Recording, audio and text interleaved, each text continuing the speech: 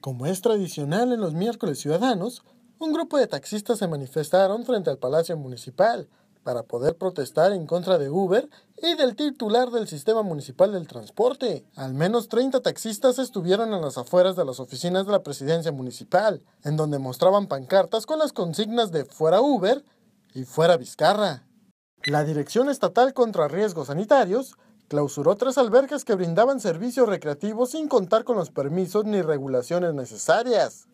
Estos espacios se localizan en la zona del Valle de Mexicali. Se trata de particulares que al contar con alberca deciden habilitarla para ofrecer al público servicios recreativos, con motivo de las altas temperaturas, práctica que se considera ilegal al no tener los permisos ni tampoco regulación sanitaria para seguridad de los bañistas. Ocho integrantes de una misma familia originaria de Mexicali viajaron el pasado 20 de agosto a Rosenberg, Texas, para celebrar un cumpleaños junto a sus seres queridos que viven allá, sin imaginar que serían testigos de la furia del huracán Harvey, que les ha impedido retornar a su hogar en esta ciudad.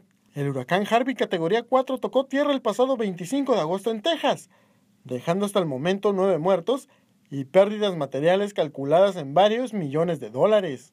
El tramo que abarca desde el Río Nuevo hasta el Boulevard Lázaro Cárdenas, a lo largo de la calzada Náhuac, será cerrado a partir de la próxima semana y hasta diciembre por trabajos que llevarán a cabo la Comisión Estatal de Servicios Públicos de Mexicali. Aunque los trabajos comenzarán el próximo lunes, la circulación sobre la citada vialidad en sentido norte a sur, desde el edificio del Centro de Control, Comando, Comunicación y Cómputo hasta el Boulevard Lázaro Cárdenas, quedará suspendida a partir del 4 de septiembre. Mañana jueves a partir de las 6 de la tarde es el horario límite para poder participar en el certamen Señoritas Fiestas del Sol por lo que el director del FEX invitó a las chicas que deseen representar a la belleza cachanilla a entregar sus documentos de dicha convocatoria.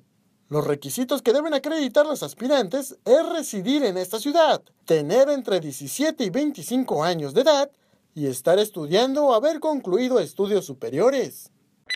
Gracias por ver nuestro resumen de noticias. Lo invitamos a seguir manteniéndose informado de los hechos más relevantes de la región a través del portal de noticias, así como en nuestras redes sociales.